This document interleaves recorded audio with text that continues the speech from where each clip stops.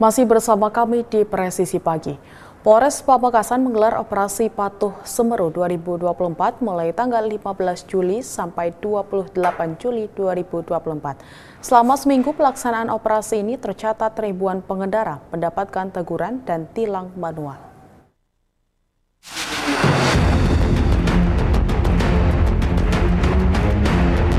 Polres Pamekasan menggelar operasi Patuh Sumeru 2024 mulai tanggal 15 Juli sampai 28 Juli 2024.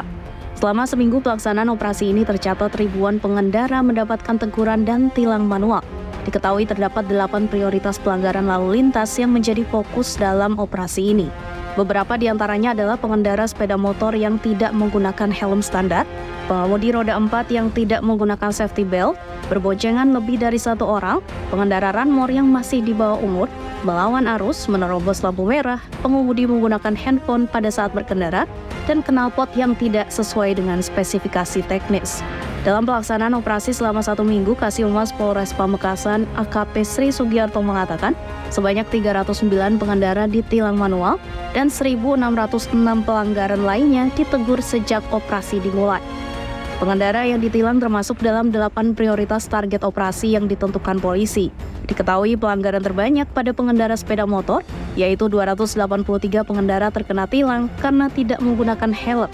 Selain itu, sebanyak 14 pengendara motor kena tilang karena melawan arus, tiga pengendara motor kena tilang karena berboncengan lebih dari satu, tiga pengendara motor kena tilang karena melanggar lampu lalu lintas, dan enam pengendara motor kena tilang karena ranmor yang menggunakan knalpot yang tidak sesuai spek.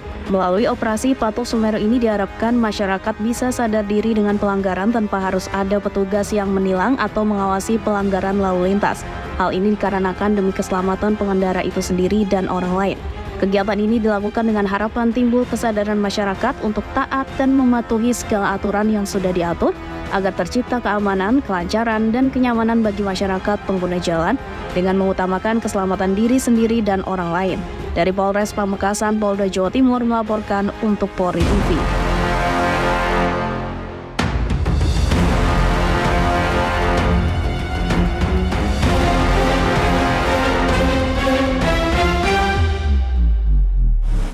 Direktorat Lalu Lintas Polda Bangka Belitung dan Satlantas Polres Jajaran telah menindak sebanyak 2.000 lebih pelanggar lalu lintas. Data ini didapat selama sepekan digelarnya Operasi Patuh Menumbing 2024.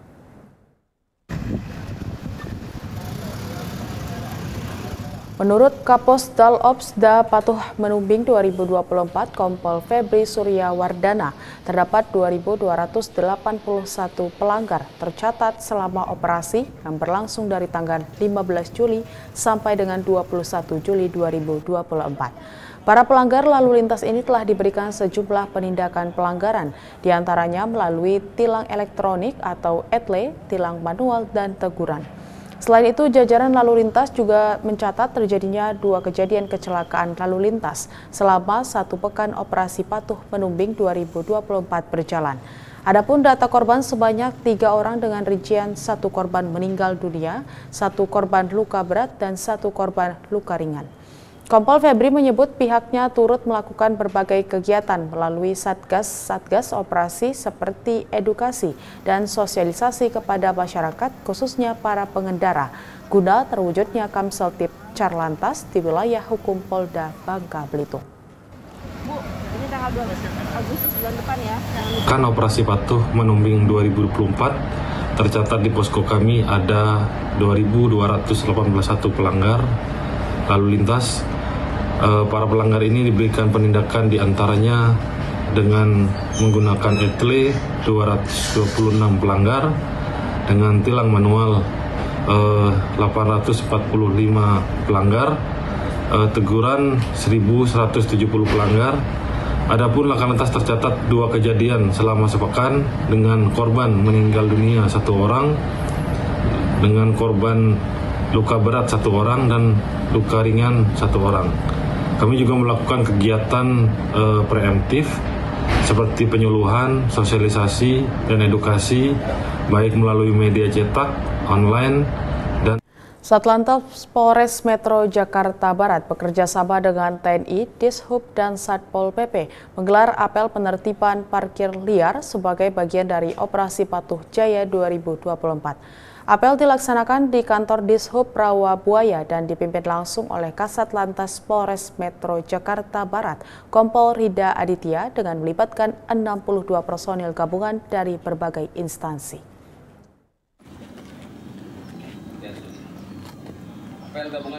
Kompol Rida Aditya menyampaikan bahwa kegiatan ini merupakan salah satu rangkaian dari Operasi Patuh Jaya 2024.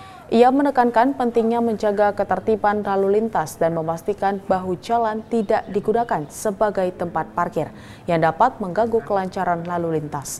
Selain penertiban parkir liar, Kompol Rida Aditya juga menyampaikan bahwa Satpol PP Jakarta Barat akan melakukan penertiban terhadap pedagang kaki lima yang beroperasi di area tersebut. Hal ini dilakukan untuk menjaga ketertiban dan kebersihan lingkungan serta mengurangi potensi kemacetan. Operasi Patuh Jaya 2024 ini merupakan bagian untuk meningkatkan kesadaran dan kepatuhan masyarakat terhadap peraturan lalu lintas. Dengan adanya penertiban parkir liar dan pedagang kaki lima, diharapkan dapat menciptakan lingkungan yang lebih tertib, aman, dan nyaman bagi seluruh pengguna jalan. Kegiatan ini juga menunjukkan sinergi yang kuat antara berbagai instansi dalam menjaga ketertiban dan keamanan di wilayah Jakarta Barat.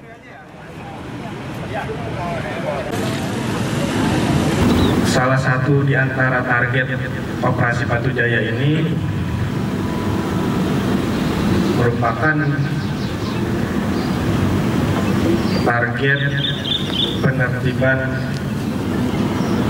parkir liar yang mana kemarin saya minta izin ke Pak Kasiop mohon bantuannya terkait kiat gabungan dalam operasi Batu Jaya ini kiat gabungan bersama instansi terkait dalam hal ini ada dari rekan-rekan TNI, dari Brimob, dari Lantas sendiri, dari Disub dan Satpol PP. Dengan target sasaran tadi, parkir liar untuk roda 4 nanti akan di derek kemudian untuk roda dua akan diangkut. Dan untuk pelanggaran yang masih ada pengemudinya baik roda 4 maupun roda 2 nanti akan diberikan sanksi tilang oleh personil lalu lintas dalam momentum operasi Patuh Candi 2024, sejumlah tukang parkir di sekitar Simpang 5 Purwodadi, Kabupaten Grobogan, Jawa Tengah mendapat sembako dari Polres Grobogan.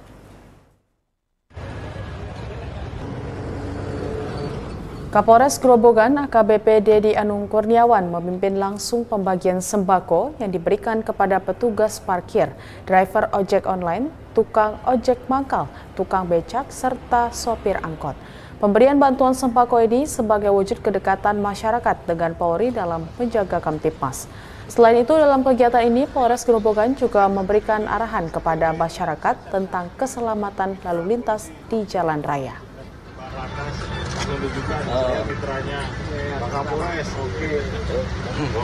Sore ini saya bersama Satlantas Polres Grobogan melaksanakan sosialisasi operasi Patuh Candi tahun 2024 yang sudah dimulai dari tanggal 15 uh, eh, Juli beberapa hari yang lalu.